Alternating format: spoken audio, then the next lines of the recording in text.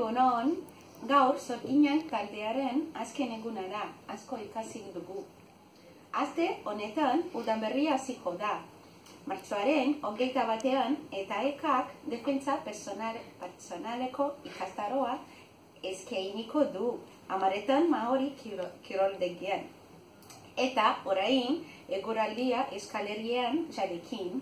Eskerrik asko enarari. Kaixo, egunon. Gaur, eskalerian euria ari du.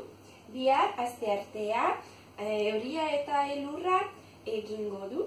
Uh, eta temperaturak uh, behera egingo du. Zortzi grado horri ziak. Ondo pasa, aur. Agur, eskerrik asko.